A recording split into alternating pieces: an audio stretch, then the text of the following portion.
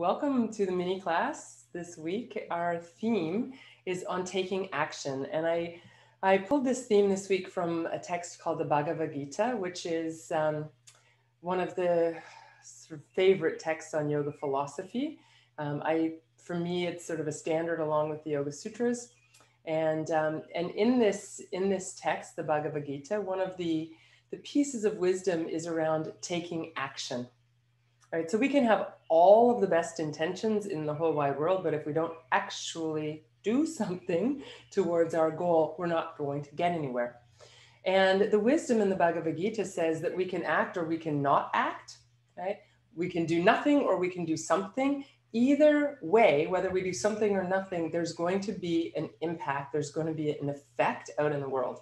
So the word karma literally means action and how our actions have a reaction in the world. And it, it's not like if we do something bad we get something you know get smacked in the in the head in return but that our actions have some kind of repercussions in the world whatever they may be. And so when we're um, when we're kind of stuck and we're not acting that act of not acting has repercussions in the world as well right? So we're we're moving forward one way or another whether we're actually taking steps and walking on our path or whether we're sitting back and waiting to see where our path takes us or where that you know the flow of the river takes us. And not to say that that you know just sitting back is the wrong thing to do because sometimes it's absolutely the right thing to do. Sometimes not acting is what we need to do right? You feel your anger come up and you just want to say something really nasty and instead of acting you don't act and that has a whole different impact than if you were to act on that impulse. So so, not to say that acting or not acting is good or bad, but that we should decide, right? What are the outcomes we're looking for and how do we get them? Is it by acting or is it by not doing something? So, I'm going to invite you today to kind of go back to last week's theme, and we're going to, out of that theme, pull out one small piece of action that you could do, ideally today, but it could be, you know, sometime this week um, but the sooner that you act, the more likely it is to happen um, towards that eventual goal. And what happens is we sometimes think we need to see the whole picture before we take a step on our path. And the fact is, we don't need to see the whole picture. We just need to act, right? So, taking that one step often will open more doors, it will open more possibilities. And then the next step becomes more clear, and then the next step. So, it's not like we have to map out 20 steps ahead of time, one step is where we're going today. So we're going to start seated. You can get comfortable. We'll start there and I'll see you on the mat.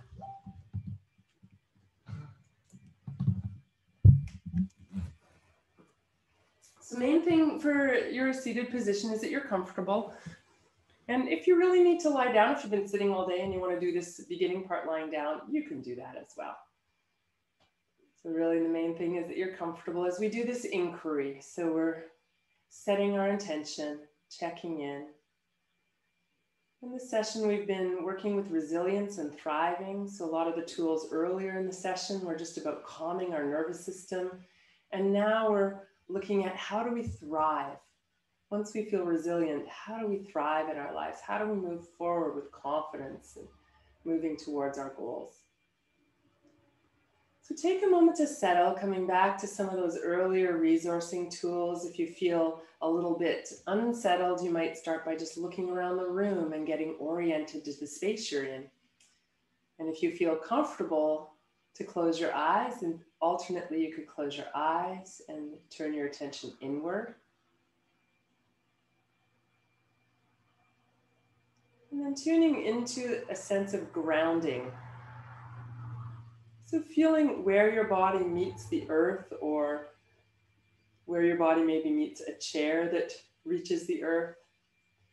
So what is below you being drawn down by gravity? And how do you feel that interface between your body and the earth?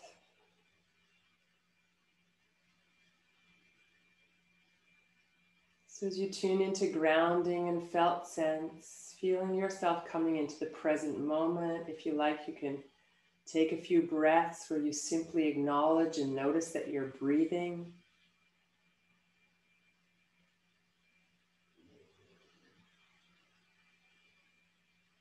Really letting yourself transition into this space, the space of your yoga practice we're inviting the attention to always come back to the present moment through all sorts of different various tools that we've been using the breath, felt sense, grounding, many other tools that we looked at. We'll just stop with those three for now.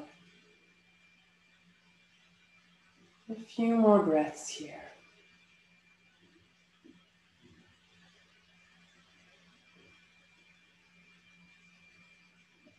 So as we start to settle, it's like letting a pool of water settle so that everything that's been in the water just settles to the bottom and the water becomes clear. And whatever clarity that you feel you've been able to connect with now, I invite you to again pose the question what do I really want? So you've maybe been working with this question for a week now. Maybe something has come up for you, maybe not. What do I really want?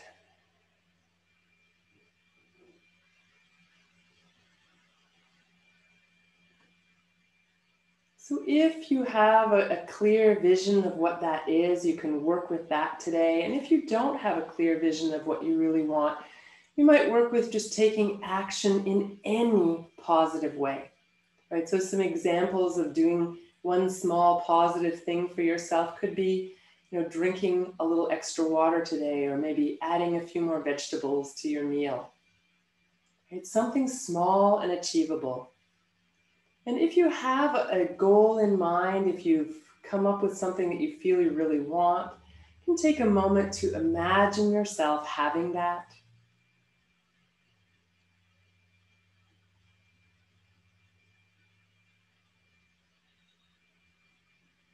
And then taking a moment to ponder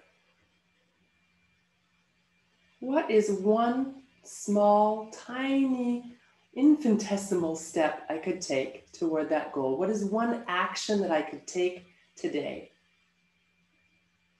Right, so if my, my bigger goal is to be more healthy and lose weight, my one small action today might be just making sure that I drink at least one extra full glass of water or replace some of the sweets with some fruit. It's a one achievable thing that you could do today as small as possible to take you on that first step toward your goal. Imagine yourself doing this thing. Picture yourself, hear yourself if there's any sounds.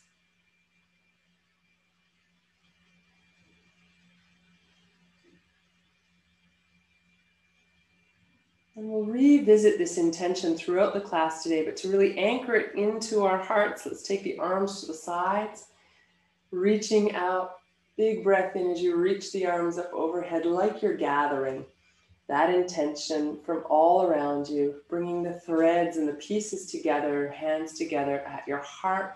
Pause there again. Picture yourself doing this thing, this one small step. And then again, we'll take the arms to the sides, reach out and up, like you're gathering this intention and bringing it into your heart, firmly planting it like a seed. And with one more breath, we'll water that seed, reaching up. And bringing your hands together at your heart. And Pause here for one more breath. And then exhaling to release.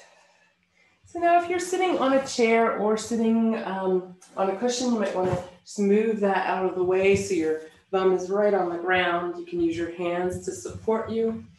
Feet out in front of you, knees bent with the feet about shoulder distance or even a little wider apart. And we'll move the knees side to side.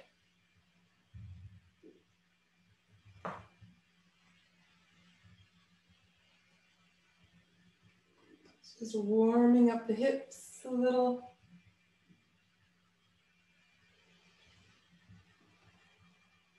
Great. And you can come back to center and, and bring your feet in close to each other. And then you can lean back a little bit to help make this happen, but you're gonna bring one knee over the other and then sit up tall using your hands to support you. Take a few breaths here and notice any kind of stretch or sensation. You can try rounding your back a little and then sitting up again. Really finding that lift in the heart. and then we'll straighten the legs. Give them a little shake. Right. And then leaning back to bend both knees again. You can lean back even a little more to lift the other leg and cross it over. And then again, you want to use your hands to support you to sit upright. And again, pause here for a moment and feel whatever stretch is happening now. Whatever experience is happening now.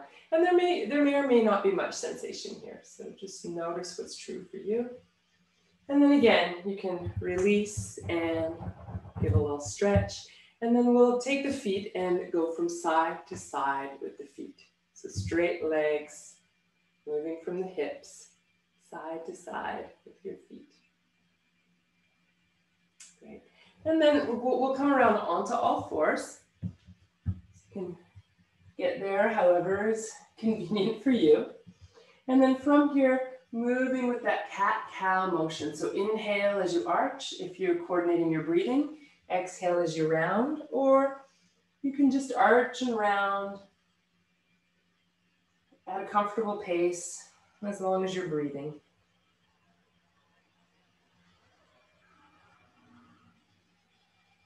And then try some circles, circling your hips from one heel to the other and back around and up. Take your time, again, tuning into how this feels, what you notice, what you're aware of. After you've gone a few times one way, try going the other way. See what you notice when you approach from the other direction.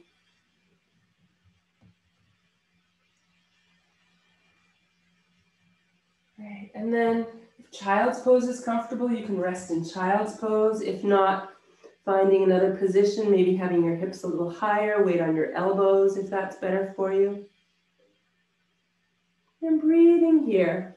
As you breathe, come back to your vision, your intention.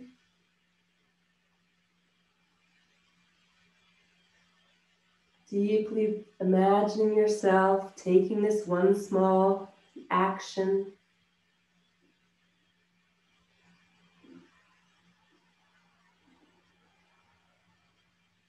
Great. And then when you're ready, we'll come back up to all fours.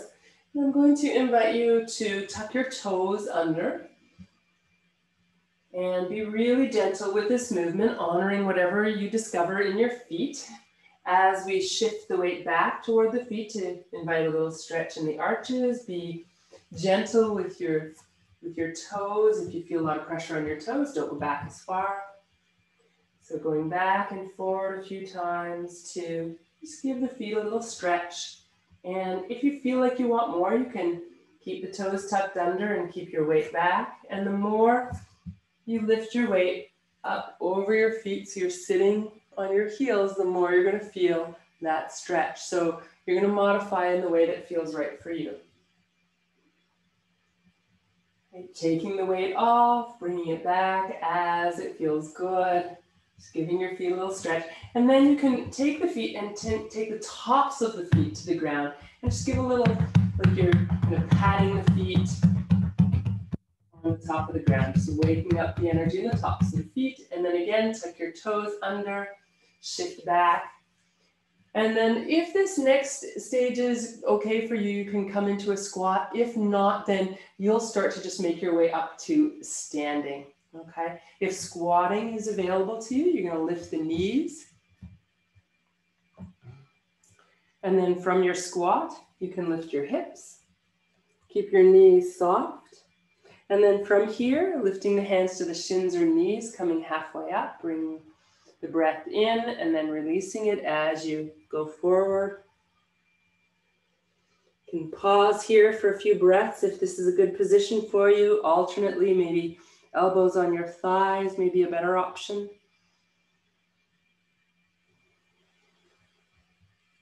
And then as you're ready, you'll lift all the way up, reaching up overhead, bringing your palms together, bringing the hands back to your heart.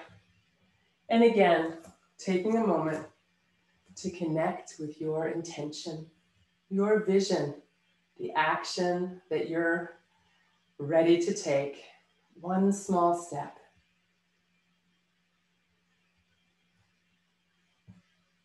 Right, from here, let's lift the arms, big breath in. Big circle around as you exhale. Coming back into the center, lifting. Exhale, big circle. Great, one more time. And this time, as your arms are coming to the side, you're gonna bend your elbows and have the hands facing forward. Draw the elbows back, find a little lift in the heart. Right, and then as you exhale, bring your arms across your body to hold opposite shoulders. Let your elbows relax down, take a few breaths here. And if you like, if you want, you can actually draw your chin down a little, bend your knees a little, round your upper back, breathe into the space of your upper back. Maybe even rock your elbows a little bit one way and the other to open up a bit more space.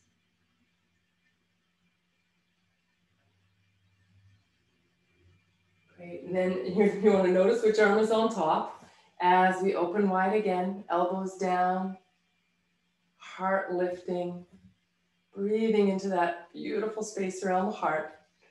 And then exhaling. Next exhale, hands come around again. Uh, elbows more or less stacked, but they may not be quite, just whatever works for you. Again, you can soften your knees, lower your head, and create a little more space between your shoulder blades. Rocking a little side to side if that feels good for you. Great, and then coming back to the center, we'll inhale and open the arms wide. Good. Take a couple of breaths here, feeling that openness across the heart. Good. Exhaling to release. And a few rotations with your shoulders now.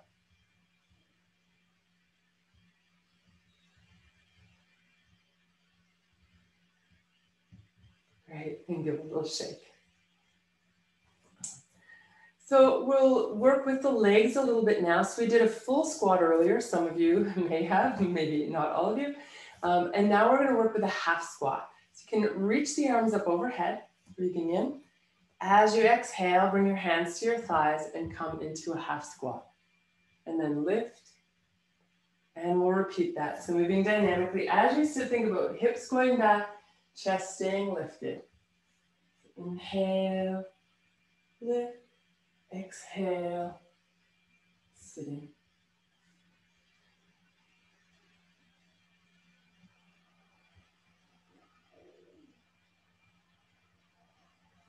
Great, this time go ahead and stay. And as you're staying, I invite you to bring your hands to your hips to get them out of the way and shift your weight to one side. You can pick up the other foot if you like, or leave your toes on the ground, and then shift the opposite side, back to center, sitting down, and then we'll lift all the way up. Exhale and release. So one more time with that half squat. So inhaling to lift. Exhale to sit. Okay. We'll bring hands to the hips just to get them out of the way. When we do the eagle pose in a moment, we won't have the arms in the way. So shifting onto one foot, you can either just lift that leg, you can straighten it if you like, or you can try crossing it over as we did sitting. When you release, coming back to stand, you can give a little shake. And we'll just try it on the other side as well. So reaching up with the breath in. Exhale, coming down. You can Bring your hands to your hips and, and use that to really help remind you to find that bit of arch in the lower back, lift in the heart, shift your weight the other side. Again, you could keep your toes down, lift them, or maybe straighten the leg or cross it over. Great, keep breathing. And when you're ready, just standing to release. And again, a little shake. All right, so this uh, probably you're familiar, some of you at least, with this pose. So we're going to do this sort of modified version of eagle. Um, and eagle is this wonderful pose of inaction, right? It's a still pose, but obviously when we think of eagles, the eagles also fly. And so in this pose, it's really about bringing the energy into focus, right? So an eagle will sit, it will wait, it will watch, and then it will act decisively, right? So we're in that waiting, watching kind of phase in the pose. And as we come out of the pose is when we come into our action, into that first act that we could do towards our goal, which is, you know, for the eagle, it's just raising the wings and getting ready. Right, so when you're ready to try eagle with me, we'll take a breath in, reaching up. Okay, we're gonna come to the half squat, elbows to the sides. From here, breath in, reach back with the elbows. Exhale, cross the arms over the chest so that the elbows are stacked as much as possible, hands on opposite shoulders. If you're familiar with the full eagle and you wanna do the arms of the full eagle, feel free, but we'll stay with this for now. Whichever arm is on top, so for me it's right arm, I'm gonna shift my weight to the right leg. And then again, you can stay here, just come to your toes or lift the leg Maybe stretch it out or cross it over. Keep the standing leg bending so you're even squatting down a bit more, chest lifting, breathing. Find your focus.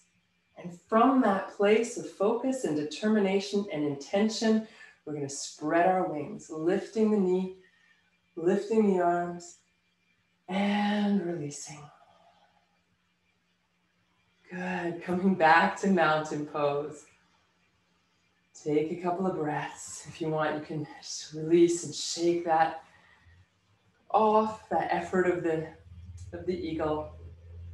And then we'll do the other side. So we'll take a breath in, reach up. Exhale, half squat as the elbows come down. Breathing in, opening the heart Exhale, other arm on top. So for me, it's left arm this time. Let your shoulders drop down. Shifting your weight to the side of whichever arm is on top. So for me, it's left. And then choosing, just lift, straighten, maybe cross over. You can always bring your toes down if you need to for balance. Sinking down, lifting the heart, finding your focus, getting ready and then when you're ready, we're gonna act by spreading our wings, lifting up and releasing back to Tadasana.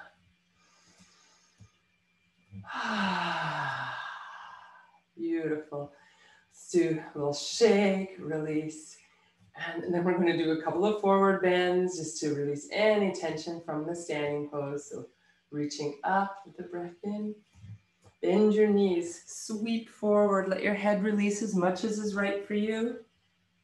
And then come all the way up. Repeating this a few times, going at your own pace.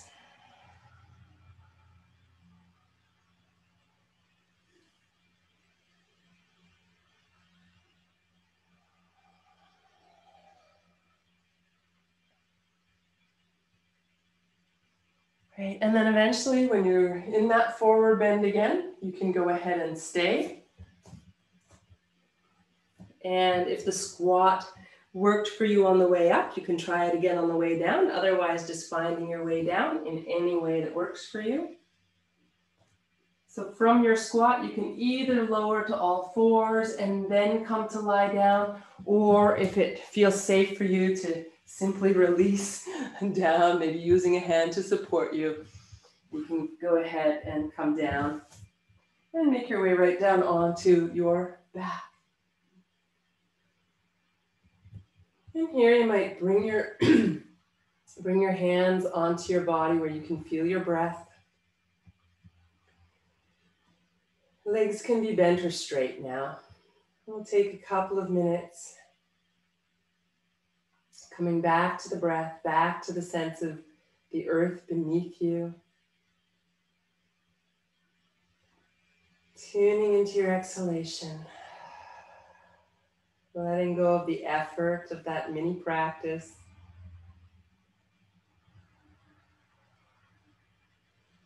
Coming back into a sense of stillness.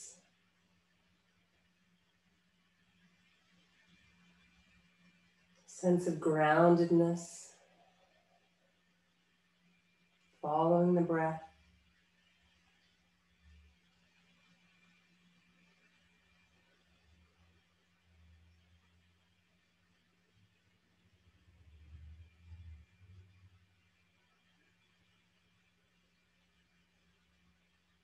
Breathing in fully, exhaling fully, a few more breaths to really anchor in this intention.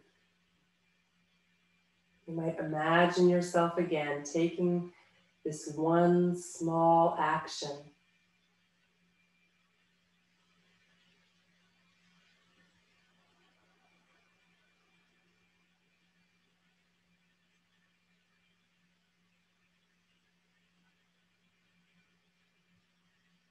And then that go. And we'll spend just another minute or two simply being, resting, being with ourselves, integrating the practice. If it helps, you can follow the breath with your imagination, or you can simply rest here.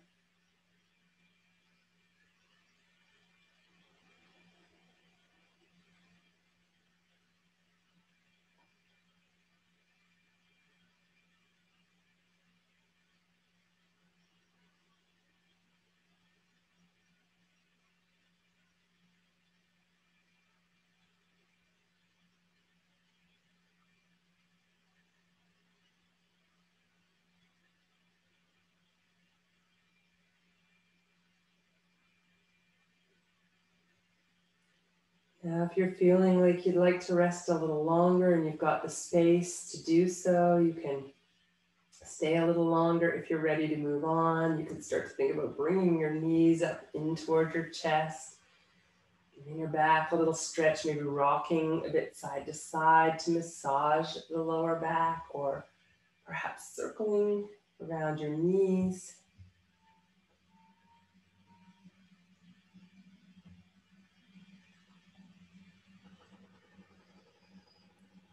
And then if it feels good, you can stretch your arms and legs toward the ceiling and give them a good shake.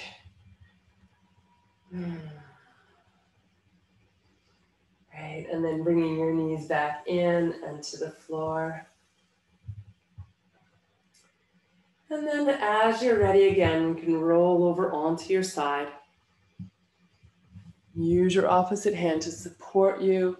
And if you're not ready to come upright, that is also fine.